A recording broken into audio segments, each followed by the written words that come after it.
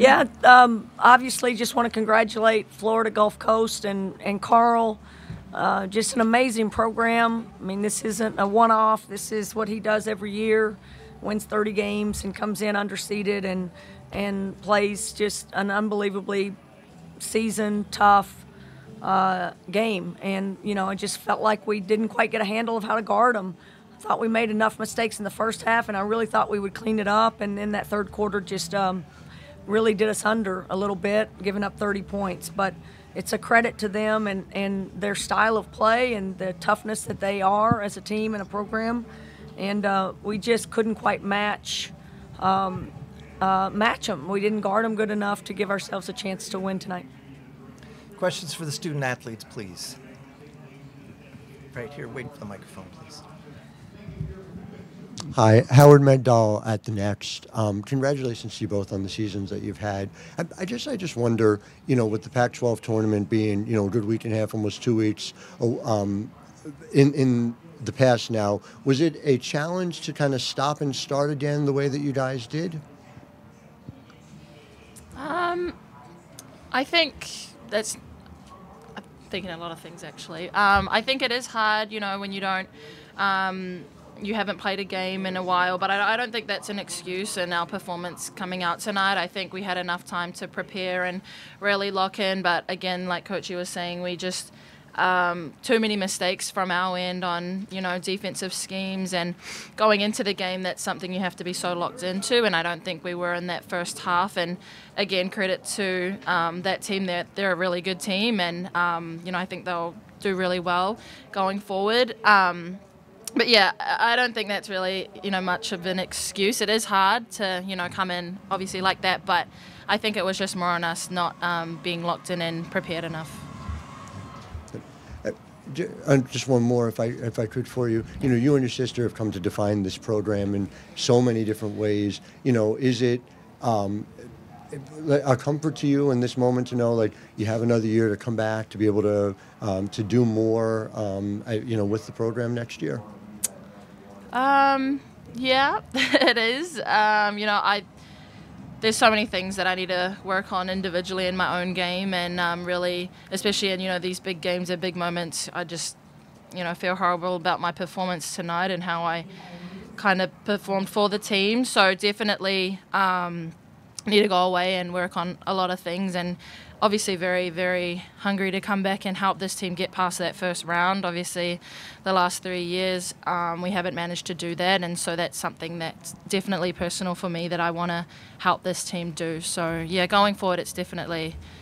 I guess you can take it in a positive way too, and you know think of how much we have accomplished mm-hmm. as a team, and you know I'm so proud of how we've come uh, performed throughout the season. Um, I think the most wins we've ever had this season. You know, we won the Pac-12. It's just something unheard of and in most people's eyes impossible for us to do. So I don't want to take anything away from our season and what we have done. Um, just you know. It, only one team wins their last game in this tournament, so it's hard, but yeah. Thank you, guys. Additional quick right here. I guess I'll direct this to Ula. Um, did their their style of play was that was that something that maybe uh, caught you guys a little off guard? Was that something that you'd seen before, or something you expected, them kind of uh, using the speed and, and, and going at you guys like that? Yeah, um, they're a very unique team, like Coach She said. I don't think anyone in the Pac, especially, um, plays the way they do. They spread you out really well, and they just force you to guard one on one. And they're a tough matchup, obviously, because they can shoot the three ball really well.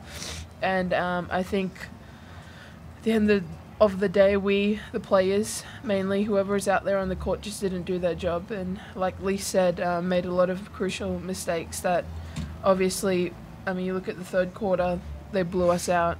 And that's um, pretty much where it went downhill from there. But yeah. Any other questions here? One more? Uh, Charlisse, was it maybe that they did in, in their in their game plan to, to uh, limit you in, in some way tonight, or, or was there anything special or anything that you could notice that they were like keying in on you? Um, I don't know if it was specifically schemed against me. Maybe it was, um, but you know, my like I still got up shots. I just didn't really hit them. Um, and again, they're a great defensive team. You know, they have a lot of pressure on the ball and they kind of get you out of offensive schemes, which is, again, something you have to adjust to on the fly. And I don't think that me personally, I didn't do that well enough. And as a team, we didn't adjust quickly enough to those schemes. Um, but yeah, I think they just took a lot of us out of, you know, what we're kind of used to and comfortable doing. Any other questions for the student athletes? Thank you. We'll excuse you guys. Thanks, Charlisse. and- Thank you. Thank you. Questions now for Coach, please. Right down here to Howard. Oh, we got. go. In- in that that third quarter, uh, what did it seem to be the, the turning point, or, or how did they maybe come out a little differently and, and try to attack you guys in that one? I mean, uh, again, it's it was a little bit different, and- we, we made enough mistakes in the first half, just how we were going to guard the ball screen, um, and worked on it all week, and just really just couldn't. And again, it, that's the hard part is you're putting bigs in ball screens, and and just uh, they were it was a little bit out of their comfort. Um, as much as we worked on it, I thought we would be a little bit better at that. Uh, and then they, they did get some just dribble drive, downhill, angled. Uh, again, bigs out there trying to guard one on one from the three point line to the rim. Uh, it's just not their comfort. So it was just a, a, um, a competition of styles. We couldn't get to our advantage with the, the size that we had in the post. And, and they took advantage of our bigs on the perimeter with the ability to get by us, and we, we didn't we didn't do the right things in some of their dribble drive stuff. So some of our mistakes, some of our, you know, again, the the contrast of styles and and who can get to the advantage based on their your style, and and we just did not score enough in the paint. Um, we didn't take advantage there. Some some with foul trouble, and then obviously just losing losing a little bit of uh, uh, losing a little bit in the third quarter. Howard? Coach Howard Megdal, the next. Um, Charlisse talked about this a little bit um, about the things she's working on. What are those? What are those things that you want to see in her game between now and when you guys hit the floor in November? Well, I just still think there's a lot of growth for her. Her one-on-one individual moves before she puts the ball on the ground needs to get better. I think any the really good players in this league uh, in the in the country are really good at that, uh, especially as much pressure as they put on her. Her her outside shots just got to become a little bit more of a sniper like, you know, and, and it started the season that way. I think the disruption of her being with us really kind of hurt her flow that she was in. Uh, but clearly, I think she has the ability to shoot a higher percentage. Um, you know, we just have to do a better job as coaches of getting her to good spots on the floor. But her post-up game could get better.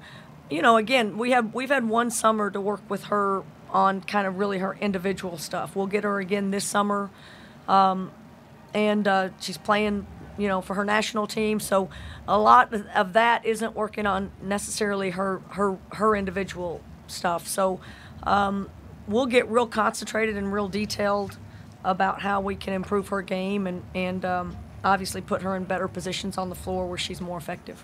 And you answered my follow-up question about her in terms of national team, but for you guys, just you know, coming up against FGCU, where we see this every year, like you said, underseeded every year. At a certain point, you know, there, it's unfair to FGCU. It's unfair to teams that have to play them in the first round. Do you think that FGCU has earned the right to be better seeded on an annual basis than they are at this point? I mean, it's just really hard. I'm sure the committee does as good as they can do, but um, they put a lot of weight on how you finish the season, and and again, the power conferences get a lot of. Um, uh, thankfully, I'm happy about that. that we have a we carry a lot of weight, but I do think Karl has earned a lot. He's at least within the coaching community. I mean, I can't tell you the number of people. I know there was a collective, oh, poor Washington State when that came up because of the respect that people have for Karl and what he does.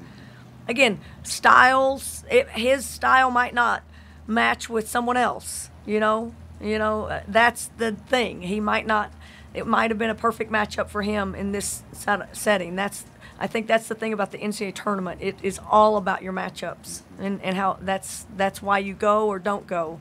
Uh, and we just we came up against someone that we really didn't guard good enough and didn't keep that game close enough to give us a chance to win at the end. Thanks.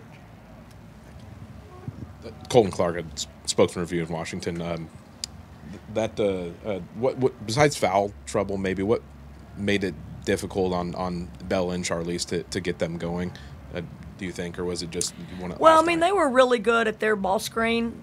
They kind of kept us to a sideline, but they, they, you know, they, all, we just, I felt like we were teeing up the ball screen offense a little bit, and we couldn't get our bigs to, to get out of those and, and to create an advantage. I mean, that's the point. We've got to, if you're gonna, whatever you're running, you got to create an advantage, and they did a really good job of kind of slowing us down and making us double think and, and hold on to the ball a little bit too much. They had a lot of pressure. I mean, honestly, we probably just need players that are really a little bit better at ripping and going past that kind of pressure like they did to us. And we're a little bit more system oriented.